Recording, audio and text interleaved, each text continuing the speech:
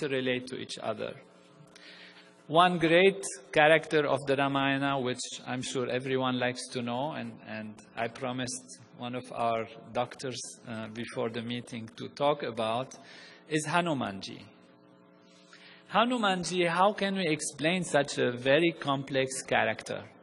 How can it be that a structure in our body will become small, then become big, then send messages, then go through a small hole, then um, uh, burn the city, then uh, bring healing aspects and all of that? And if we look at it carefully, we find it is the hormonal system. All our endocrine system together is under the control of Hanumanji. And you know, the hormones are very tiny molecules, very tiny molecules, you can't even see them under the microscope, that travel everywhere in the body, that can penetrate through small holes that sit on receptors. They send messages, they are messengers actually, and therefore this is why, how it is a message. Yet, as a whole, as a group, they are huge. In a split second or a few seconds, if you have a secretion of hormones, a certain type of hormone in the body, your whole metabolism can be changed, your digestion can be changed, your immune system can be activated or deactivated. And when you look in the Ramayana and see how Hanumanji is described, you actually find that this is a physiological description of the entire hormonal system. I let you read how the Vanaras, which are the the, the monkey-like aspects are actually uh, guided and their king, Vali and Sugriva, and the relationship between them, and how they actually control the hormonal system.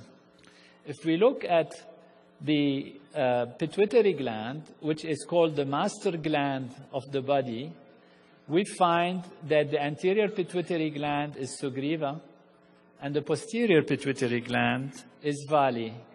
Angada is the son of Vali. There is a long story of how they interact to each other, how Vali goes into the cave, which is the Sella turcica, a specific cave in our brain, actually, existing in our brain. And only Vali could go through it, Sugriva had to wait on the door. And the whole story, in its very delicate intricacies, how Vali told him, I will send the milk if I kill the demon. If all of you, I don't know how many will remember that.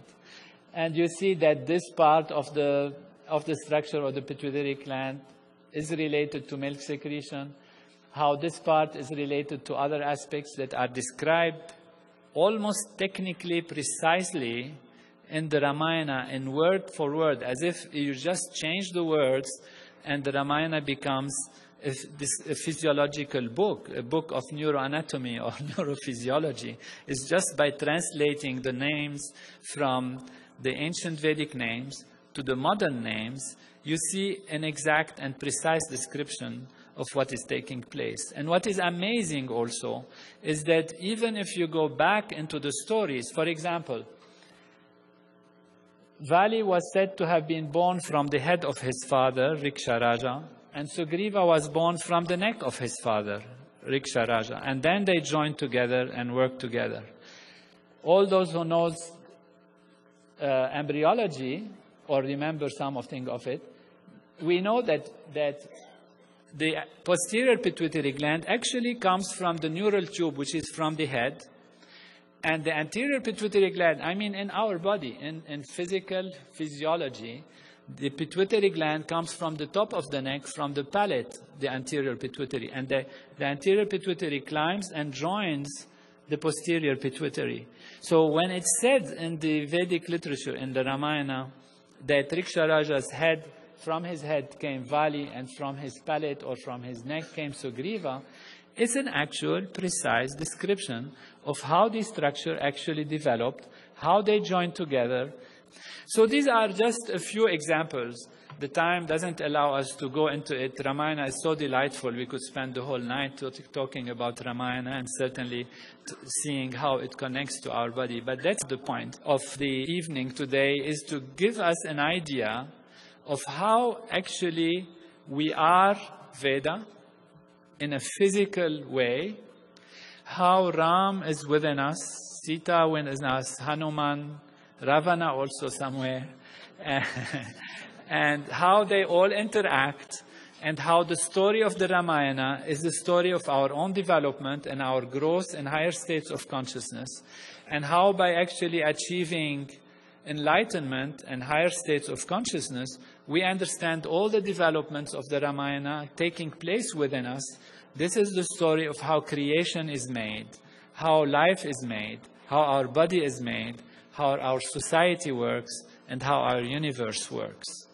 This knowledge, which comes from direct experience, is perfect and complete knowledge. If we go back in history, what was the reference for action, the reference for thinking, for behaving? It was self-referral, pure knowledge. Today, modern science has given us a lot to improve our life. We have cars, we go to the moon, we fly fast, etc. But we always refer in our actions, in our politics, in creating our laws, in our decision making, to our self-referral values within us. We refer to what we know best to do. And that is because our physiology is also an instrument of knowledge that when perfected and when awakened in all of its values, it can know everything, it can be everything, and it can live life in perfection. You have that knowledge. Your tradition, your ancestors, your parents have upheld that tradition for generations and generations. And today it's only because modern science had advanced enough that we can truly recognize the value of this knowledge. However, if I'm here for anything, is to share this with you and truly to have the opportunity to thank you and thank Veda Bharat, Deva Bharat,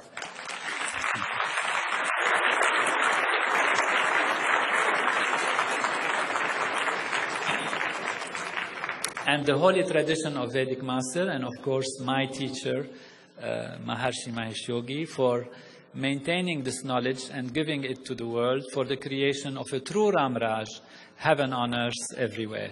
Jai